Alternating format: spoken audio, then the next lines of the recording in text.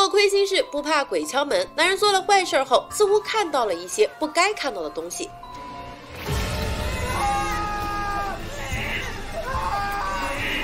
究竟是什么样的妖魔鬼怪，竟然有让男人生孩子的能力？故事要从女主妮塔开始说起。她的生活被阴影笼罩，父亲在生前欠下了高额贷款，在他离世后，债主们如影随形，不断逼迫妮塔还钱，甚至不惜使用暴力手段。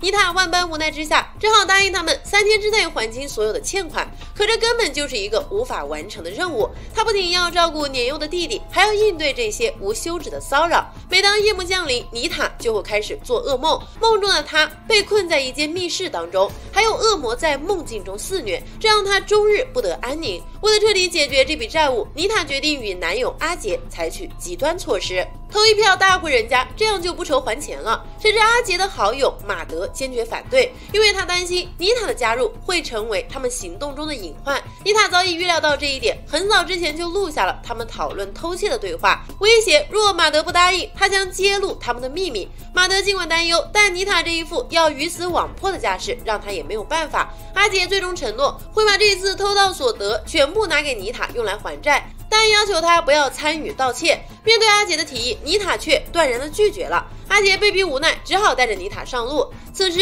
马德的女友芳芳警告妮塔删除录音，后者见状立刻照办，表明了自己的立场。他其实并不想出此下策，只是现在真的很需要钱。马德虽心有不甘，但终究还是驾车驶向了目的地。这场艰难的旅程就此展开。马德和芳芳轮换着开车，经历了二十四小时的长途跋涉，一行人终于抵达了一栋别墅。他们利用内线提供的情报，知道屋主今天不在家，但他们还是耐心等到了晚上。在车中稍作休憩的妮塔做了一个噩梦，还把其他人都吓了一跳。他们的装备有限，仅有三部对讲机，因此妮塔需要紧紧的跟随阿杰一起行动。三人毫不犹豫地翻过了大门，确认屋内确实空无一人。马德立刻前往二楼探查，留下阿杰和妮塔负责一楼。阿杰告诫妮塔，虽然这一家人家财丰厚，但他们需保持克制，不可贪得无厌。两人各自展开搜寻，收获颇丰。然而，在妮塔专心寻找财物时，不知道是什么原因，房门突然关闭。妮塔并未过多在意，只是继续取走了抽屉中的翡翠手镯，完全忽略了阿杰的叮嘱。另一边，阿杰在衣柜内意外发现了一颗女性头颅，顿时吓得瘫坐在地。与此同时，一道黑影掠过妮塔的身后，后者当然是有所察觉。立马跟随黑影进入了另一个区域。阿杰急于寻找妮塔，两人在地下室的入口相遇。阿杰疑惑，那个黑影是谁？看起来像是自己的弟弟小巴。尽管他深知小巴在出租屋里待着，然而妮塔执意要一探究竟，且不顾阿杰的劝阻，径直的走入地下室。而在二楼，马德在搜寻时偶然发现了一面大镜子，他看见镜中的自己，肚子竟然变得跟孕妇一般大小，这可把马德给吓傻了。阿杰和妮塔两人在地下室内发现了一个躺在地上的女人，后者表示自己名叫娜提，并请求两人救救自己。阿杰心中泛起了嘀咕，不知道该如何是好。可没过一会儿，他就下定决心，冲上前去准备救缇娜出来。道义有道，虽然他们是罐头，但其实人不坏。妮塔却觉得这样不妥，在他看来，没搞清楚情况就救人是不合适的。阿杰一听，觉得有道理，便询问娜提为什么沦落至此。没成想，后者哭着表示有人想杀了他。这一下，阿杰和妮塔可傻了眼，开始怀疑屋子里是否还有其他人的存在。阿杰也赶忙问道：“是谁想要下此毒手？”娜提已经吓得说不出话来。阿杰见状，只好先去帮其解开手腕上的绳索，不料绳子急剧升温，把阿杰给烫伤了。这令在场的几人百思不得其解。阿杰不死心，还想再次尝试，却还是一样的结果。娜提哭得梨花带雨，阿杰无法按耐自己的怜悯之心，却被绳子烫得倒在地上惨叫。一边的妮塔看男友不行，抡起一把斧子，三两下就把绳子砍断。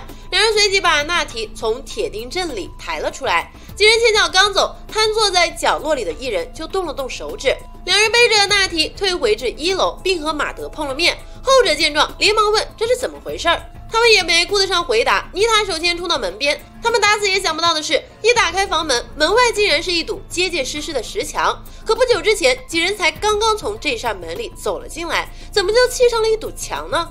他们实在是丈二和尚摸不着头脑。就在这个节骨眼上，妮塔感觉有一些眩晕。马德见状，连忙去开另外一扇门，却发现还是一样的结果。当众人陷入混乱之际，小芳驾驶着他们的车前来门口接应。他通过对讲机联络阿杰，妮塔接过对讲机与小芳交谈，请求后者稍等片刻，同时顺手开启了房间的灯光。然而马德此时的情绪激动，全然没有心思对话，只是狂乱地踹着墙壁，动作越来越大。只是他无意中发现了一个藏在柜中的煤气罐子，他随即将煤气罐取出，试图将其引爆以炸开出口。这无疑是一个极度危险的举动，甚至会危及自身的安全。幸运的是，在千钧一发之际，他们及时跳到了一旁。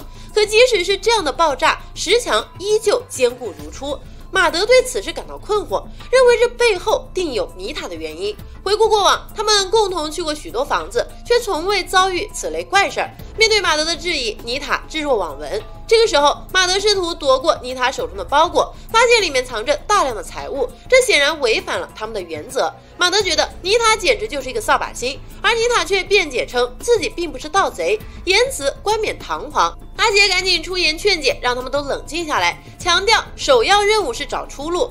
妮塔跟随马德一起探索，期望能找到新的出路。在一间宽敞的卧室，他们意外发现了一份家族谱系。几人救出的女孩娜提似乎正是这个家族的传承人。另一边，阿杰看到娜提在自顾自地念叨着什么，便走近娜提，想要听听她在说些什么。令他意想不到的是，娜提的眼睛突然发生变化，先是变得苍白，继而被一片乌黑所取代，随后还吐出一只小虫攻击阿杰。此时的娜提已经化身成一只恶魔，阿杰陷入了恐怖至极的幻觉，吓得他哇哇大哭。这个时候，马德听见了动静，连忙赶来查看情况。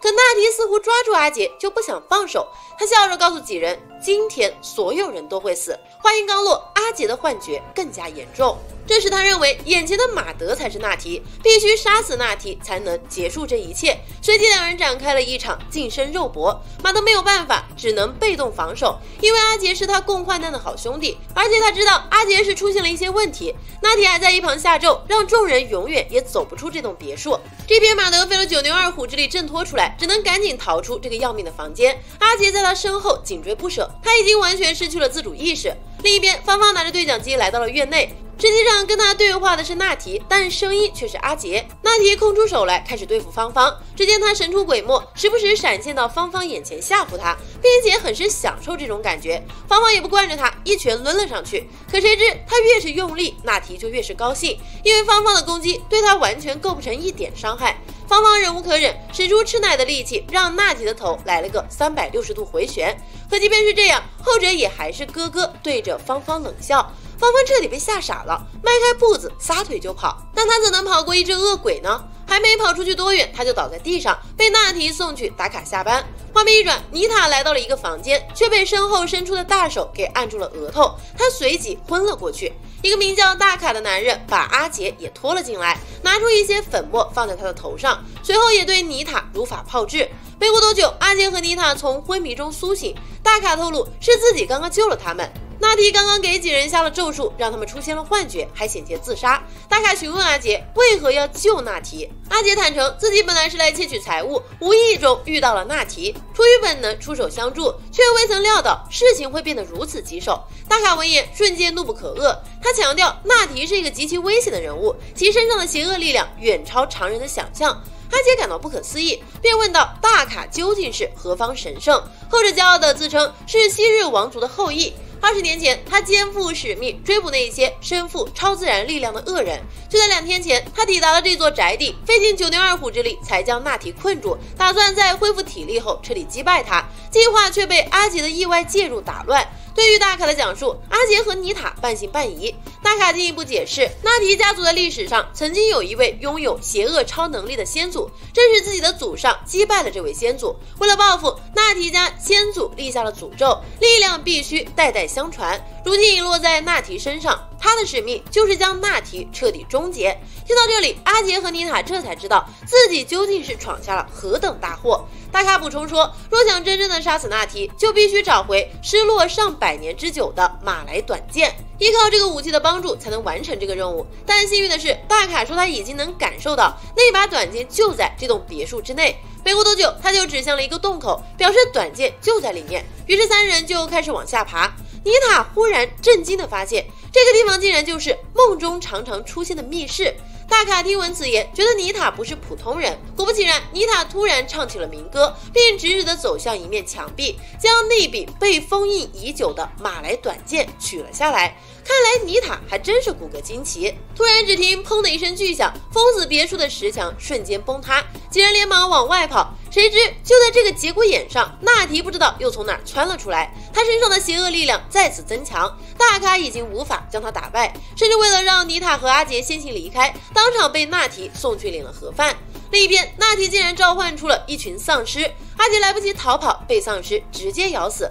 妮塔见状勃然大怒，拿着马来短剑将丧尸全部杀死，最后战胜了纳提。至此，影片《撒旦的巢穴》也就到此结束了。《撒旦的巢穴》上映于二零二四年，影片恐怖元素拉满，看得我全程冒汗。讲述了妮塔为了还债，伙同男友阿杰和另外一对情侣马德和芳芳展开了对一栋无人豪宅的盗窃行动。谁知一开始还十分顺利，等他们来到了豪宅内部以后，事情却开始变得扑朔迷离，还无意中。解开了恶魔纳提的封印，但在大凯的帮助下，几人最后还是虎口脱险，逃出升天。个人感觉，影片的前半部分几乎无可挑剔，融入了大量地方特色恐怖元素，让许多观众大气都不敢出。剧情和情节也很连贯，人物角色也比较饱满。特点分明，但来到后半段的时候，感觉影片的风格就开始向喜剧和武打方向偏折，恐怖元素也难以避免做了减法。不过综合来看，影片作为一部新类型恐怖惊悚片，还是有着许许多多的亮点，十分推荐大家闲暇的时候去看看原片。